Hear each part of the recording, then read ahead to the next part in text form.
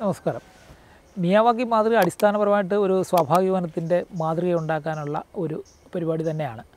പക്ഷേ അത് നമുക്ക് എത്ര ചെറിയ സ്ഥലത്തും വെക്കാം എന്നുള്ളതിന്റെ ഒരു പ്രയോജനമാണ്. ഒരു ഒരു പ്രത്യേക അഡ്വാന്റേജ് എന്ന് വേണമെങ്കിൽ പറയാം. പക്ഷേ അതിലൊരു കാര്യം ഉള്ളത് അങ്ങനെ നമ്മൾ ചെറിയ സ്ഥലത്ത് വെക്കുമ്പോൾ അതൊരു സ്വാഭാവിക വനത്തിന്റെ ഒരു റെപ്ലിക്ക ആവില്ല. കാരണം സ്വാഭാവിക വനം എന്ന് പറഞ്ഞാൽ അതിൽ ജീവികൾ വേണം വള്ളികൾ വേണം കുറ്റിച്ചെടി വേണം അങ്ങനെ കുറേ സാധനങ്ങൾ വേണം. അതെല്ലാം കൂടെ കൂടുമ്പോഴാണ് ഒരു സ്വാഭാവിക വനം ആകുന്നത്. അതിന്റെ ഒരു മാതൃക നമുക്ക് ഉണ്ടാക്കാൻ പറ്റും ഈ മിയാവാക്കിയിലൂടെ പക്ഷേ അത് നമ്മളൊരു ഇരുപത് സെന്റോ മുപ്പത് സെന്റോ നാൽപ്പത് സെന്റോ അല്ലെങ്കിൽ ഏക്കർ കണക്കിനോ ഒക്കെ സ്ഥലത്ത് വെക്കുമ്പോഴാണ് ആ മാതൃക വിജയിക്കുന്നതും ഈ പറഞ്ഞ കാര്യങ്ങളൊക്കെ നടക്കുന്നത്.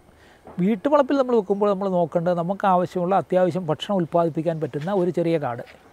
അതിന് ഇതേ ഇതേ ഇതേ സാങ്കേതികവിദ്യ തന്നെ നമുക്ക് ഉപയോഗിക്കാം ഇതേ രീതി തന്നെ ഉപയോഗിക്കാം. പ്രൊഫസർ മിയാവാക്കി സജസ്റ്റ് ചെയ്യുന്ന നിർദ്ദേശം അദ്ദേഹം നിർദ്ദേശിച്ചിരിക്കുന്ന മാർഗം ഉപയോഗിച്ച് തന്നെ നമ്മുടെ വീട്ടിലേക്ക് ആവശ്യമുള്ള ചെടികൾ ഭക്ഷണ സാധനങ്ങൾ ഉണ്ടാക്കാൻ പറ്റിയ ചെടികൾ വളർത്തുന്ന ഒരു തോട്ടം നമുക്ക് ഉണ്ടാക്കാൻ പറ്റും. വളരെ ചെറിയ സ്ഥലത്ത്. അപ്പോൾ ആ സ്ഥലം നമുക്ക് പ്രയോജനപ്പെട്ടു എന്നും ആകും. ഇത് പറയാൻ കാരണം എന്ന് വെച്ച് കഴിഞ്ഞാൽ ഞാൻ തിരുവനന്തപുരത്ത് വരുന്നത് ഒരു മുപ്പതോ മുപ്പത്തഞ്ചോ വർഷം മുമ്പാണ്. അതിന് മുമ്പ് ഞാൻ കോട്ടയത്താണ് എന്റെ വീട്. അവിടെ നിന്നാണ് ഇങ്ങോട്ട് വരുന്നത്.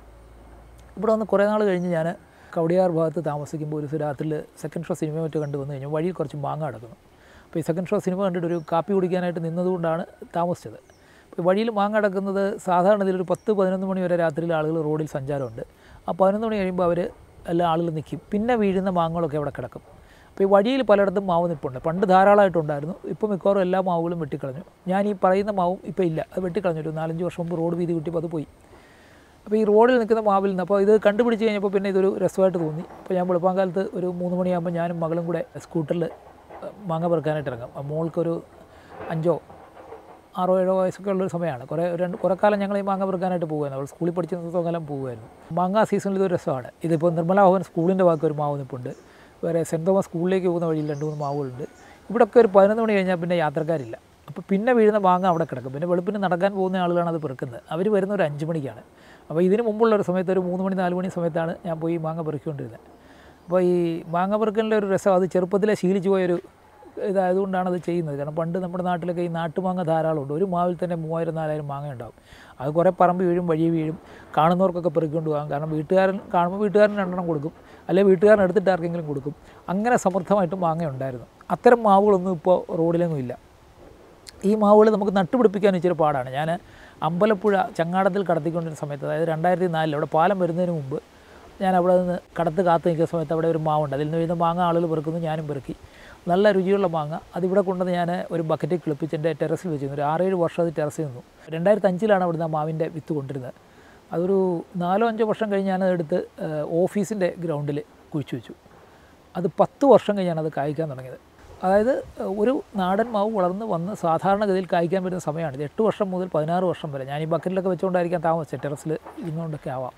അപ്പോൾ നമ്മുടെ നാട്ടിൽ ഉണ്ടായിരുന്ന നാട്ടുമാവുകളെല്ലാം മിക്കവാറും അപ്രത്യക്ഷമായി ഇനി അപൂർവമായിട്ട് അവിടെ ഇവിടെ ചില പറമ്പുകൾക്ക് ഉണ്ട് ഈ ചെറിയ മാങ്ങയാണ് ഞാൻ ഉദ്ദേശിക്കുന്നത്. പണ്ട് ഈ പിഴിഞ്ഞു കുടിക്കാൻ ആൾ എടുത്ത് കഴിക്കുകയൊക്കെ ചെയ്യുന്ന ചെറിയ മാങ്ങ. അതിന് ഓരോ സ്ഥലത്ത് ഓരോ പേരാണ് പറയുന്നത്. ഇത് ഒരുപാട് ഇനമുണ്ട്. മഞ്ഞ നിറമുള്ളത് നല്ല കടും നിറമുള്ളത് അതിൽ മധുരമുള്ളത് മധുരം ഇല്ലാത്തത് പുളിയുള്ളത് പക്ഷേ ഇതൊന്നും ഇപ്പോൾ കാണുന്നില്ല. അപ്പോൾ ഈ മാവുകളൊക്കെ ഇപ്പോൾ അവശേഷിക്കുന്ന സ്ഥലത്ത് എവിടെയെങ്കിലും ഉണ്ടെങ്കിൽ നമ്മളവനെയൊക്കെ എടുത്ത് ഇതുപോലെ ബഡ് ചെയ്ത് ആരെങ്കിലുമൊക്കെ മിയവാക്കി മാതൃകയിൽ അവരുടെ പറമ്പിലൊക്കെ നട്ടു വളർത്തിയാൽ ഒന്ന് ഇത് നമ്മൾ ഈ പതിനഞ്ച് വർഷം കാത്തിരിക്കേണ്ട കായ ഉണ്ടാവാനായിട്ട്.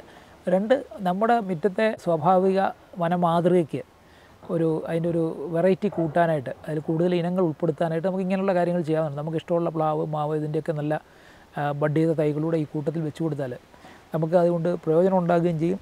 ഈ ഇനങ്ങൾ നമുക്ക് സംരക്ഷിക്കാൻ കഴിയും.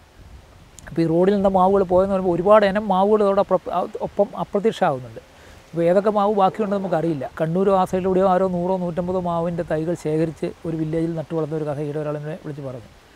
അപ്പോൾ ആ മാതൃകയിൽ നമ്മുടെ അടുത്തുള്ള മാവുകളുടെ എങ്കിലും തൈകൾ ഒട്ടുതൈകൾ കിട്ടാനും അത് കുഴിച്ചു വെച്ച് വളർത്തിയെടുക്കാനും ശ്രമിക്കുകയാണെങ്കിൽ നമുക്ക് നഷ്ടപ്പെടുന്ന ജൈവസമ്പത്തിന്റെ ഒരു ഭാഗമാണ് നമ്മൾ സംരക്ഷിക്കുക. അത് ശ്രമിക്കുന്ന നല്ലൊരു കാര്യമായിരിക്കും തോന്നുന്നു.